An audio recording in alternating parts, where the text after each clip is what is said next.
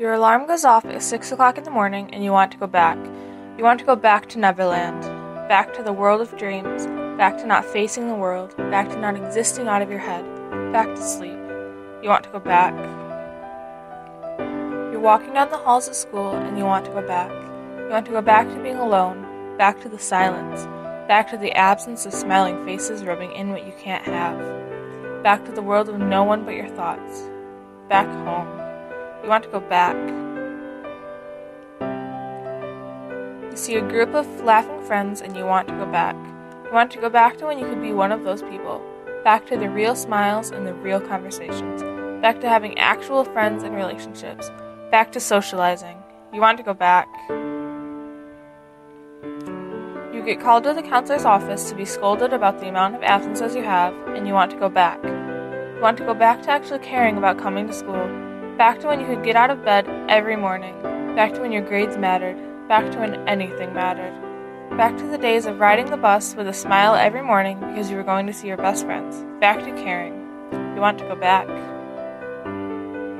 You're riding home from school with your mom and you want to go back. You want to go back to not hearing, I'm just worried about you. Back to not being a burden. Back to being a real teenager. Back to being not just a shell. You want to go back. You want to go back. You never want to go forward. When will you look forward? Someday you'll look forward to waking up in the morning and starting your day. You'll look forward to walking down the halls and hearing snips and bits of other people's conversation, knowing that they are having a great day.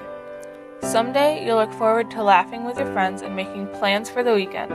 Someday soon, you'll look forward to seeing your school counselor. She tells you how proud and excited she is that you're coming to school every day. Someday soon, you look forward to hopping in the car after school and excitedly telling your mom how your day was, and you'll tell her about that funny thing that one kid that said in geometry. You'll look forward. When you're 30, you'll look back to your hard days, but you won't want to go back. You'll think back and see how you've grown and how you've become who you are, but you won't want to go back. You'll think back to when you were depressed, and you'll feel a sense of pride for overcoming one of the biggest obstacles anyone can tackle but you won't want to go back.